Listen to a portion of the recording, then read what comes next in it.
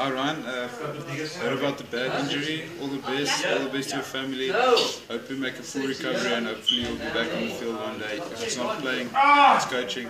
All the best.